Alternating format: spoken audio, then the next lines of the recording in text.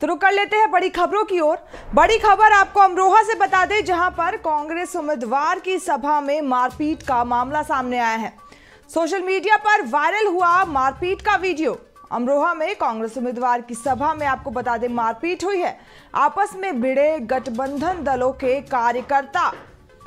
मंच पर बैठने को लेकर आपको बता दें, ये मारपीट हुई है। तीनों दलों के नेताओं में मारपीट का मामला सामने आया तो बड़ी खबर, इंडिया गठबंधन से, जहाँ पर कांग्रेस उम्मीदवार की सभा में तीनों पार्टियों के जो कार्यकर्ता हैं, वो आपस में भिड़ गए। वहीं इस मारपीट का वीडियो सोशल मीडिया पर भी जमकर वायरल हो रहा है। तो बड़ी खबर अमरोहा से, जहाँ पर कांग्रेस उम्मीदवार की सभा में मारपीट हुई है। तो वही कांग्रेस सपा और आम आदमी पार्टी के कार्यकर्ताओं के बीच ये मारपीट का मामला बताया जा रहा है। जैसा कि आप तस्वीरों में देख सकते हैं, जहाँ पर कार्यकर्ता आपस में भिड़ गए। बताया जा रहा है कि मंच पर बैठने को लेकर आप और सपा और कांग्रेस के जो कार्यकर्ता हैं, वो आपस में भिड़ गए। तो बड़ी खबर अमरोहा से, जहाँ पर इंडिया गठबंधन में एक और तलक की खबर सामने आई है, जहाँ पर मारपीट हो गई है कार्यकर्ताओं में। बड़ी खबर अमरोहा से, जहाँ पर कांग्रेस उम्मीदवार की सभा में आपस में ही जो पार्टी के कार्यकर्ता हैं, वो भिड़ गए।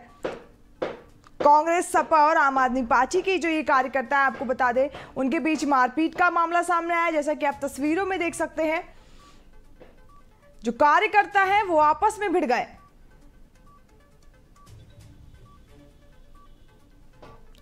बताया जा रहा है कांग्रेस उम्मीदवार को लेकर सभा बुलाई गई थी, जिसमें तीनों पार्टी के जो कार्यकर्ता थे वो मौजूद थे। तो वही मंच पर बैठने को लेकर तीनों कार्यकर्ताओं में मारपीट शुरू हो गई। बड़ी खबर अमरोहा से बता रहे हैं आपको, जहाँ पर कांग्रेस उम्मीदवार की सभा में मारपीट का मामला सामने आया है। तो वही इस मारपीट का वीडियो भी सोशल मीडिया पर वायरल हो गया है।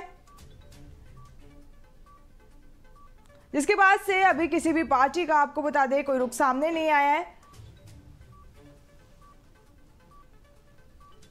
वहीं इस मारपीट की खबर से जो राजनीतिक गलियाँ हैं, वो गर्मा गई हैं। अमरोहा से बड़ी खबर, जहाँ पर इंडिया गठबंधन के कार्यकर्ता आपस में भिड़ गए। तो बताया जा रहा है मंच पर बैठने को लेकर विवाद चालू हुआ था।